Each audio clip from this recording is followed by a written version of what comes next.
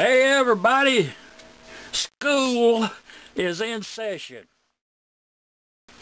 The subject of the day is a Model 92 Maytag multimotor. Single cylinder hit and miss by way of ignition interruption. The reason for this lesson is the amount of comments and the problems that Maytag owner seems to have with their ignition. On the onset, if I may say, if you do not have a good ignition coil, then all of the adjustments in the world will not improve the ignition. You must have a ignition coil in operating condition. Also, the points, if they are worn out, and they do wear out, then you need to replace the contacts. Can be done. The, the it's starting, let's go basic. Let's start with the flywheel. We're going to get to the points, but let's start at the flywheel. They are, flywheels in general are all the same, no difference, except this flywheel right here, this flywheel is different. I'm not going to introduce the difference right now. I just want you to be, what you can be doing your homework. Why would I say this flywheel, Model 92, why would I make the statement that this flywheel is different from all of the rest of them?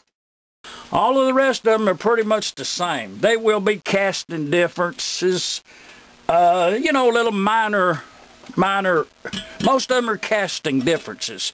That particular one right there is quite a bit different. This, this, this thing right here, y'all seen that before. And all that is, is the center out of one of these flywheels that was broken beyond use. And I just turned it in the lathe to make this show and tell. We, we, you will see this again when we are adjusting the points. You will see this. But the way this thing operates, it's very simple. In, in, in the concept, it, it has a stop.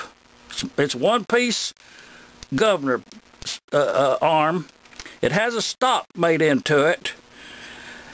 The reason this thing works is because of the weight, the the uh, centrifugal force of the engine when it's running this wants to to fly outwards.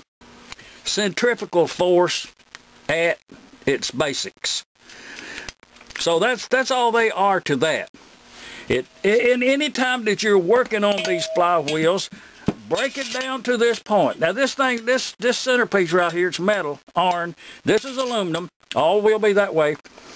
I have seen these right here to be brass uh, I don't know why.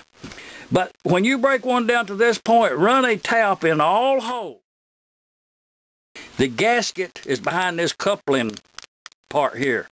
Uh, another difference that you will find in these flywheels, about the only difference other than the one being a little bit different, is the cover plate that goes here. Some of them will have a, the screw goes in straight in and the other one will have a boss on the cover plate and the screw will go in straight. They are not interchangeable. Now, the question is, should I take that flywheel ring out there? Yes, by all means. Now this one right here was corroded so bad that the, the bolts going through yonder, the bolts going through there were, right here, were corroded so bad I couldn't get them off, so I cut them off with a chisel. You get them out of there however how you want to. The reason is, is you want to put this in the electrolysis. That needs to be clean. Electrical contact. I got all the bolts out of there and you say, oh, I better mark it. well, if you want to do it, but it's not necessary. The reason to remove this is because this, um, if you have one that's in this condition, you can get by with not moving it. It's pretty clean and all. But if you have one that's rusted like this, then you do need to remove that and remove the rust behind the ring and, and the and the housing. Just get her out of there.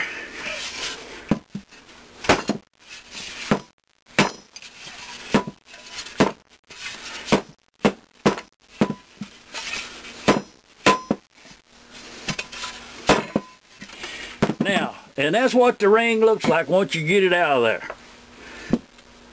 See how bad it's rusted? Now we will clean that up. And uh, I have put these in electrolysis, but I do find that you can clean them up just good enough without putting them in electrolysis. And they do have magnetism.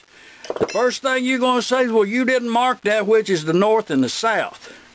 Actually, it don't make any difference. If you take like 20 of these flywheels, if you go buy 20 engines and you bring them to your workshop and you take them all apart and you check the polarity on on the on this basically is just a horseshoe magnet. You check the polarity here and here and they will not be the same. I, I never pay attention to that personally, and I never have any problem. And if you study magnetism, uh, you will understand why that you would not have a problem with the magnet orientation. But anyways, we got that out of there. Uh, I do have, I got several of these.